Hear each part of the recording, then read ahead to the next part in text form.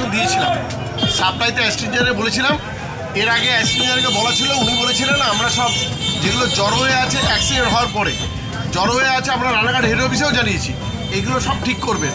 কিন্তু ওরা করবেন করবেন বলে অ্যাক্সিডেন্টের পর অ্যাক্সিডেন্ট করছে। আজকে এই ঘটনা ঘটেছে, কত লোক মারা যেত স্পটে আর আমি ফোন করার পরে ওনাকে ধরেনি। আমি আইসি সাহেবকে দিয়ে ওদের জানিয়েছি ইমিডিয়েটলি লোক পাঠাক। নাহলে যে কোনো মুহূর্তে অ্যাক্সিডেন্ট কিছুটি আমরা প্রচুর প্রচুর আতঙ্কিত। এটা আজকের সমস্যা না এটা দীর্ঘদিনের সমস্যা। এর আগে একবার আমরা সবাই মিলে আমরা সুনীতিগতভাবে গেছিলাম। গিয়ে বলা হয়েছিল আমাদেরকে টাইম দেওয়া হয়েছিল দু সপ্তাহের মধ্যে আমরা সব কেবেল করে দেবো। কিন্তু আজ দু মাস তিন মাস অতিবাহিত হয়ে গেল কিন্তু একই রকম অবস্থায় আছে। যে কোনো সময় একটা বড় ধরনের অ্যাক্সিডেন্ট হয়ে যাবে। ড্রাইভারটা কে নেবে ব্লাস্টিং হয়েছিল। ফ্লাসিং মানে মু মু ফ্লাসিং হয়েছে। যে কোনো সময় একটা বড় ধরনের অ্যাক্সিডেন্টের হাত থেকে আজকে বেঁচে গেল চারদাবাসী